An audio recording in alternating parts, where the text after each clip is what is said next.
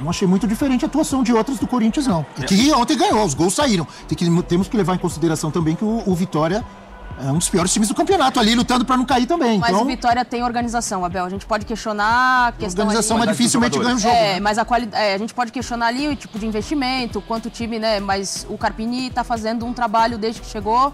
É, o Vitória era a lanterna do campeonato, pontuou, tem três vitórias, consegue os seus empates e vem desempenhando futebol organizado e, e partindo de uma ideia de jogo. Debate Esportivo analisa a vitória do Corinthians sobre o Vitória 3 a 2 no último lance do jogo. O Corinthians conseguiu marcar. Os jogadores falaram emocionado. O, também o comentarista critica o time do Vitória, que diz que é um time que só perde, mas é repreendido pela outra comentarista. Diz que o Vitória é um time organizado. Fique com o debate esportivo. Créditos ao ESPN Brasil. Deixe seu joinha, o seu like. Vamos ao vídeo. Vamos acompanhar o que disseram personagens de Corinthians 3, Vitória 2. A, a emoção é, é indescritível, assim, é difícil de, de expressar em, em, palavras, é um, momento único e certamente ficará guardado na, na minha memória aí é, para sempre. E, e, e, com relação a, a essa é, trajetória rápida dentro do clube, quando você se, se propõe a, a, trabalhar no futebol, num cargo como treinador, é, você tem que estar preparado para os desafios que, que vão acontecer. A gente sabe como que as coisas funcionam no futebol, elas são muito rápidas. Creo que foi uma vitória importante, eh, más allá de, de, que por aí terminamos sufriendo en los últimos minutos. Eh, siento que fue muy importante para lo que, que vinimos a buscar, para volver a agarrar confianza, para, para sumar tres puntos muy importantes en una situación difícil que estamos en el club. Eh, así que nada, ahora a descansar, a, a, disfrutar de haber ganado, que hacía mucho que no ganábamos. Hoje eu estava numa. conversei com a minha esposa, eu falei, poxa amor, eu não sei o que está acontecendo, eu já acordei de um, com um sentimento diferente dentro de mim. Eu estava com uma paz totalmente incrível. Quando a gente tomou o gol de empate de pênalti, eu só sei que eu olhei pro céu assim e na hora veio uma paz no meu coração. Eu falei assim, cara, vai sobrar uma bola para mim e eu, eu vou guardar. Então é, pude ser feliz, claro. Estou muito feliz, é uma emoção muito grande. Meu primeiro gol aqui na arena. Rapaz, você viu? Como é que chama isso aí, ô Prata? Sexto... Premonição. Premonição? Premonição. Sexto sentido? O que, que é isso? Olhou pro céu. Futebol tem essas coisas, eu respeito. É? Respeito. Você já aconteceu isso com você, Prats? Não, só quando dá certo, né? Quando é errado eu não conto. Você tá maluco? É, se, ah, eu sonhei que ia fazer um gol, o time pegou de dia. 5. Eu sonhei, não sonhei com nada. Você não é jogador de bola, Ah, mas você tem o seu time, que nem não. todo mundo tem. Já teve o dia que você acorda assim, Ah, ah, hoje meu time vai... Não. arrebentar." Não? Não, não, porque pra mim otimismo e futebol não caminham O lado a Prats lado. é negativo Agora, top. Você viu, Giovanni? Não, realista. Agora não, o que O que acontece você achou aí- dessa? Acho que quando você ganha, você tem que dar uma exagerada mesmo. Eu, também. eu no lugar dele falaria a mesma coisa. E o Garro? Claro. E o Garro tá jogando bola? Ele muito, respondendo, nossa, hein? Jogou muito ontem. Olha lá, ó, ó lá, ó lá, ó. Tudo gol no final aí, pra matar um monte de gente aí do coração.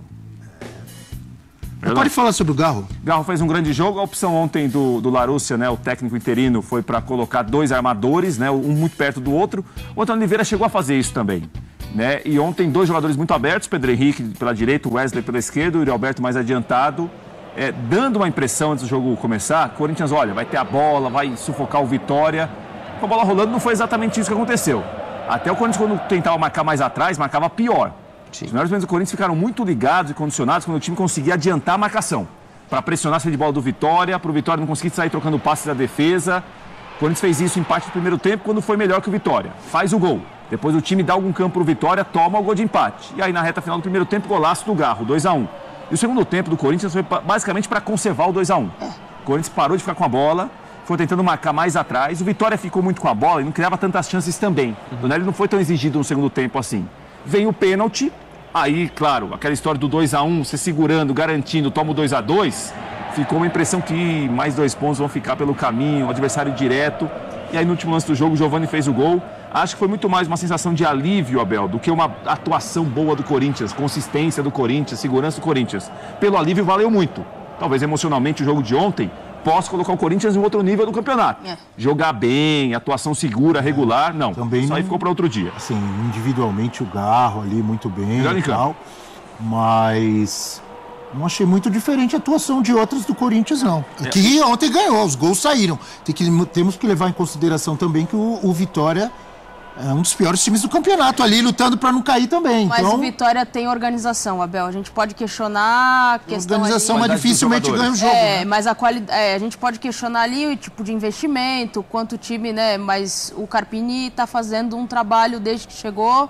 É, o Vitória era a lanterna do campeonato, pontuou, tem três vitórias, consegue os seus empates e vem desempenhando futebol organizado e, e partindo de uma ideia de jogo. Mas falta o que não qualidade. acontece com o Corinthians. Falta Mas aí qualidade. é uma questão de investimento. Então. O que não acontece com o Corinthians. O Corinthians, é, mandar um beijo para Calan, a Calandrini, para mim, é uma das melhores comentaristas do país. Ontem ela estava nessa partida, com uma leitura muito consciente do que era o segundo tempo do Corinthians. Totalmente desconectado. Um time que defensivamente é muito frágil, a gente vem falando disso há muito tempo. Já não é da temporada passada, né? E continua para essa temporada também. Então é um Corinthians que ontem, qualquer coisa que a gente for avaliar aqui, vai ficar além do que era a importância de fazer três pontos. Ontem o Corinthians precisava, num confronto direto para a disputa ali Claro. de sair da zona do rebaixamento, pontuar. Um 2 a 2 seria desastroso para o Corinthians. Para o Vitória seria arrancamos um ponto de um cara que está brigando com a gente. Então se encaminhava para isso. Corinthians como um carimbo Corinthians, né? Esse jeito Corinthians de, de fazer os seus jogos consegue uma vitória importantíssima. Agora o desempenho, isso aí, agora tem que ver se tre- algum treinador vai chegar, como é que as coisas vão acontecer, já tem reforços vão chegar. já tem confronto difícil, então, assim, tem Alex Teixeira Santana que pode chegar, tem o Charles que é volante, chegou o Neneca, mas defensivamente eu sei que volta o Félix Torres, mas ele não passa nenhuma segurança. Com ele o time não jogava bem defensivamente, sem ele continua sem jogar. Então tem muita coisa pro Corinthians acertar. Ah, sem dúvida. E, e acho que é muito bater nessa tecla de o importante era a vitória, assim, a, qualquer custo. Porque a gente está falando do técnico que era do Sub-17, que foi lançado pro Sub-20 e de repente está no, no profissional. É o cara que foi pontual, assim, né, né, nesse jogo. Então não é um Corinthians que está querendo construir uma identidade a partir desse jogo contra o Vitória. Não, é, ali eram os três pontos e não tinha muito o que negociar. É, até me surpreendeu a escalação, é, não só pela presença do Pedro Henrique, que, que até fez um bom primeiro tempo, deu assistência, inclusive, Também pro gol. É, mas pela ideia, é, o Prats até falou que não foi algo novo, o Antônio já tinha feito isso. Mas, assim, meio a, a essa dificuldade do Corinthians de ser consistente, sofreu mais de 20 finalizações ontem. E olha que o segundo tempo, a meu ver, foi controlado. Não é que foi um grande segundo tempo do Corinthians, pelo, pelo contrário, mas foi controlado. Não sofreu tantos riscos assim para acabar sofrendo empate, que foi muito mais um erro individual. Mas foi um Corinthians muito aberto com, com esse meio de campo e acho que isso ficou nítido. O espaço da entrada da área do Corinthians foi muito grande. Raniel acabou ficando sobrecarregado na função e, assim até produziu mais ofensivamente, mas não muitas dinâmicas assim de, de jogadas, de algo mais trabalhado. Ficou ainda muito na base da individualidade. Primeiro gol ainda mais articulado, mas o segundo gol reside basicamente num erro de marcação do Vitória, porque não pode deixar Não a meia-lua não tem ninguém, desprotegida. Terceiro também. Exato, num- numa situação de bola parada e, e muita felicidade do Garro. con- Concordo com o Pratos, para mim, o nome do jogo. Mesmo que tivesse acabado em 2 a 2 acho que dois gols do Garro e dois do Alejandro, acho que o Garro ainda teve uma atuação mais destacada naquele, mesmo que acabasse empatado. Mas não dá para desvincular o resultado, assim, acho que era, era o mais importante nesse momento para o Corinthians. E agora, chegando um novo treinador, aí você começa a pensar em construir ideias de jogo, como é que vai jogar esse time. Mas eu não acho que a, a, a ideia que ele teve do 4-1-4-1, com os dois, Garro e Coronado por dentro, não me parece ser o caminho para o time base do Corinthians. Acho que é um time que fica muito É, exposto. porque o Bidon não pôde jogar ontem, tava Exato. suspenso, né? Então, assim, Antônio Oliveira, se a gente comparar o time que começou ontem Faz o time uma que o Antônio Oliveira é, colocava, tinha o Bidon, né? Então, é, aí possivelmente teria um ponto a menos, ou o Coronado talvez não jogasse, né? O Alejandro, que fez dois gols ontem, a última vez que ele tinha feito gol foi em março. Fez dois ontem. Né, o Alejandro é o centroavante, que o torcedor do Vitória às vezes fica chateado. Não, tem que melhorar. Ontem ele não foi mal no jogo. O Mateuzinho fez um bom jogo pelo bom Vitória jogador. também. Né, pela direita, depois pelo meio, quando o Carpini começou a colocar mais gente para atacar. O Janderson entra bem pela Muito esquerda. bem. Né, e, e o lance que decide o jogo para o Corinthians eh, tem a participação de dois jogadores do Vitória que um pouco antes tinham sido muito importantes. O Janderson, o lance com o Maná, é um erro do Maná, mas é um lance que o Janderson está pressionando. Depois o Janderson quase virou o jogo, arrancando pela esquerda. E o gol, a bola tá viva na área, o Arcanjo dá um soco para cima, a bola segue viva, o Janderson ajeita para o Giovani. O Janderson vai tirar Bela a bola. assistência, hein? é, ele O, o, Arcan, pro o Arcanjo, inclusive, tinha feito uma baita defesa numa cabeçada. Do Kaká, Do um pouco Kaká. antes, um pouco exatamente. antes. que era, foram três, se eu não me engano, três escanteios seguidos. Isso. Curioso é que o Arthur Souza e o Mosquito, que pediram rescisão contratual, se, se não tivesse acontecido isso, se eles não tivessem pedido para sair dessa forma, provavelmente seriam convocados para esse jogo. Talvez Giovani talvez não jogasse. Giovani não jogasse. Também. É. Olha que Não coisa. tem muito dessas coisas, Abel. Eu tô com você. Talvez se tivesse o Gustavo Silva, o Mosquito, entraria o Mosquito e entraria o Giovani, né? E entrou o Giovani. Por isso que ele falou que ele acordou, ou- olhou para o céu e falou. E, e- e sentiu, hoje eu vou brilhar. E brilhou. Sendo bem Hã? honesta, talvez ele fosse titular no lugar do Pedro Henrique, tá?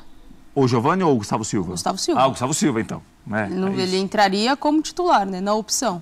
Porque já no segundo tempo, como o Vitória ficou muito com a bola e o Corinthians começou a defender muito mais atrás, né, no próprio campo, as alterações do, do técnico do Corinthians ontem eh, passaram muito para ter alguém para o time um pouco desafogar, para o time sair um pouquinho de trás. Não estava para tirar o garro, nem pensar.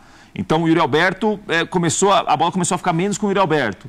O Vitória, o Corinthians começou a tirar, a bola voltava. Tirar a bola voltava, ele começou a colocar gente para um pouco mais Aliás- descansada. Romero entrou, entrou o Giovani, o Giovani fez o gol. Você citou o Yuri Alberto, eu me lembrei de um lance que, para mim, não sei o que vocês viram nesse lance. O VAR não era nem para ter chamado. Concordo. Ele atinge o joelho realmente Ele é jogador bola. do Vitória, mas uma disputa normal de bola. O Yuri Alberto acerta a bola antes William Lepo. e depois acertou. Foi o William Lepo? Foi. O joelho do jogador do Vitória, do Lepo. Isso. Mas assim, não é lance para cartão vermelho para mim. Não, e o O árbitro. VAR chamou, eu já olhei o lance e falei, ué, chamaram para isso, só falta o árbitro dar cartão vermelho nesse O- lance. mas o árbitro de campo foi muito bem, corrigiu uma besteira do VAR. Por isso que eu falo, muitas vezes o problema é quem usa a ferramenta, que não sabe usar, não está bem instruído. Olha aí, nitidamente, ele chuta a bola Sim. e depois há o choque. Ele acerta realmente Não, a não ser o que ele não tivesse acertado a bola, aí é outra coisa. A gente Aí vai sim. falar de uma outra questão. Ali numa disputa, é, assim, tem que ter. Tem, o que mais tem é isso durante o jogo, né? E, e assim, O árbitro viu o lance e deu o cartão amarelo. Isso. acho que foi perfeito. aí, Isso, porque foi perfeito. chamado para vermelho e ele viu que era uma entrada temerária e aplicou o amarelo. E assim, esse achei lance. que O Yuri nem pudesse. reclamou. O Yuri saiu andando. Tinha esquecido desse detalhe. Eu achava que não- ele não podia dar amarelo. Ele pode, Pode. porque é o seguinte, Abel, aí o, o vídeo chama para interpretação porque o vídeo Quando é- sugere que é um lance passível de cartão vermelho. Exatamente. Mas a definição é do árbitro de campo. Sempre a palavra final é do árbitro de campo. É o que a gente tem visto às vezes, é que o vídeo fica querendo convencer o árbitro de campo. Eu achava que ele Olha, ou dava isso, vermelho ou não dá isso, nada. é. Eu não, não lembrava que ele podia dar E amarelo. o Gustavo Bauerman, que é o árbitro que inclusive trabalhou bem ontem na Neoquímica Arena, um jogo difícil para apitar, pela atenção que tinha, pelos lances também, foi, ele foi muito seguro na jogada, bem, né? né? Ele tá pedindo, volta, ele vai vendo o vídeo, vai vendo o vídeo, para, porque, volta. porque quando chama, o cara deve pensar, opa, Eu fiz já tô besteira. induzido e você já Fiz tá besteira. induzido a expulsar. Ele teve Eles viram algo que eu não vi. Ele teve personalidade em manter a decisão dele, que foi a correta. Não tinha a menor condição do Yuri Alberto ser expulso Esse, nesse lance. esse lance é pra expulsar se tem um movimento que é estendido e vai com a sola. Isso. Aí, assim, o, o jogador podia recolher. Cara, ali era, era completamente natural o movimento do pé do, do, do, do Yuri Alberto. Ele não tinha nem tempo. E ele em nenhum momento toca com a sola. Então, é, de fato, acho que no final foi a decisão mais correta, porque era uma ação temerária, era para amarelo e o juiz não tinha dado no campo. Mas chamar pra ver esse lance eu não consigo entender também. Vamos dar uma olhadinha em alguns números do Garro, que sem dúvida o Prato já falou, acho que tem nem como discutir. Melhor homem em campo ontem. Pra Dois mim, golaços? Pra mim, sim. Tá de brincadeira? Camisa 10 do Corinthians. O escanteio do terceiro gol foi ele quem cobrou, né? É, não foi passe dele, foi assistência do Janderson pro Giovani, mas Ele é foi- o cara mais lúcido Claro. desse time, né? tecnicamente falando, ele é o cara que pode fazer algo além do Wesley, que tem o drible, que tem aquela questão da, da intensidade, do corredor ali pelo lado esquerdo. Ele é o cara que tecnicamente tem mais refino nesse E time. olha, num time que está longe de estar acertado coletivamente, que ainda precisa de peças de mais qualidade, de uma cara mais de time, eu acho que já está num destaque aí. 27 jogos, 4 gols, 4 assistências, dois gols num jogo difícil, num momento duríssimo e difícil como o de ontem, o Corinthians na zona do rebaixamento, aquele gol de falta contra o Palmeiras. Ah, você está dizendo que o Garro é um novo craque? Nada disso. Mas já chama Bom atenção, jogador. tá, tá respondendo num time com muitos problemas, não é? E, e- e além da questão técnica, os números, os gols, os lances que a gente fala, o que eu gosto muito dele é da personalidade. É um cara que não se esconde do jogo. Assim, por mais complicado o Corinthians esteja coletivamente, é o cara que chama o jogo, chama a bola, faz o jogo rodar. Às vezes erra, mas não se esconde. Exatamente. Tenta, né? É, muitas vezes está fazendo função de segundo volante, né? Exa é, muitas Tendo vezes que é, recompor porque tá tudo bagunçado. ele ajuda muito nesse aspecto. Pra mim, se ele tivesse num time organizado, eu acho que a gente já tá falando muito mais dele. Acho É, que é um cara terminou o jogo ontem sem volante. O Rian não é volante. O Rian, meio que exato. foi bem na Copa São Paulo, é um camisa 8, né? Sim. Quando o Ranielli sai, o Corinthians terminou o jogo sem volante, dois laterais direitos, Maná e Mateuzinho. Então foi da maneira que conseguiu ali para no 2 a 2 para voltar para o jogo, e aí foi para cima do Vitória para ganhar escanteio, bola parada e ganhou no último lance. O Garro foi muito bem. Fez uma partida muito A boa. bola aí que ele pegou de primeira, hein? Você que gosta, me diz aí. Prats Lembrou fez quem? muitos gols assim. Ele mesmo. Hein? Lembrou o Você que Prats? go- Lembrou Não, Marcelinho não vem, Carioca? Não, não começa. Lembrou Neto? Pelo amor de Hein? Deus, não, não Que começa. bola não de começa. primeira que pegou o garro, hein? Golaço. Vitória, a gente falava aqui, né? Ninguém ali na meia-lua, mas isso não diminui Mesmo nada. assim. O chute que ele pegou é de raríssima felicidade. É óbvio que tem os empolgados. Tem, você acha? Baby da diga. Fiel Não, o Baby da já Fiel tá pediu, empolgadíssimo. já disse que tem que concorrer ao prêmio Puskas esse É. gol. Scaloni, tá, tá jogando vôlei o Garro, falou? Na, Tá assim? na, na rodada tiveram muitos É, golaços. O difícil do, esse o do, do Ganso Estevão, pega um efeito Ganso. É, o do absurdo, do Estevão é um Estevam golaço. também. Não dá Olha pra descartar, bola. não. É. Mais uma assistência do Ou Vitória. do Inter. Foi, Uma foi o, Giovani, o William Oliveira antes do Arcanjo. O- É que o Arcanjo vai disputar a bola, mas o toque é do William Oliveira, que tá antes que o, que o goleiro, né? Se você percebeu, é o meio campista do Vitória que tira de cabeça. E o Garro pega de primeira com muita felicidade. É, afastou a bola pro meio da área, vai sempre correr risco, né? E tem que ter alguém ali nessa sobra, né? Essa possibilidade Mas da... dificilmente tem. Hoje em dia as defesas correm muito esse risco afundando. a- Todo mundo vai pra dentro do Todo gol, mundo né? afunda pra dentro do gol e deixa a entrada da área. Normalmente tem muita liberdade. Dois gols de escanteio, tá Mas aí. foi uma vitória de ufa. O corintiano Vitória ficou, com a cara do Corinthians. ficou aliviado. O professor né? tá feliz. Precisava, né? É, O aliviado. professor tá feliz. Não, é, e, e a troca, ah tá. Pô, e, e professor? a, a troca. Professor Celso daria um Zelt? O Rafael Larúcia também, os dois. É. O- o- não, e, e a troca do Antônio Oliveira para esse jogo de entre segunda-feira e quinta, me parece que foi uma troca muito baseada em cima disso. Emocional, ambiente mais positivo, mais confiança. Né? O Antônio Oliveira, eh, quando ele perde do Palmeiras, quando a perde do Palmeiras, a impressão que ele passou é o seguinte: olha, com esse time, eu acho que o limite vai ser esse. O limite vai ser esse, não vai dar. Não vai dar pé. Quer dizer que agora mudou? Não, mas quer dizer que hoje é uma outra conversa. Representação, Abel, a gente às vezes não valoriza tanto isso. Hoje na representação tem mais sorriso, tem mais piada. Quer dizer que vai voar o time? Claro que não. Não quer dizer que vai mudar daqui em diante. Mas hoje, pro dia de hoje, é mais- muito mais positivo. Né? O ambiente muda. É como nos bons tempos, Corinthians venceu, conseguiu ganhar do Vitória, que é um time fraco. É um dos times que vai brigar pelo rebaixamento, mas é um time perigoso, é no sufoco e agora soma três pontos. Deixe seu joinha, se inscreva e até o próximo vídeo.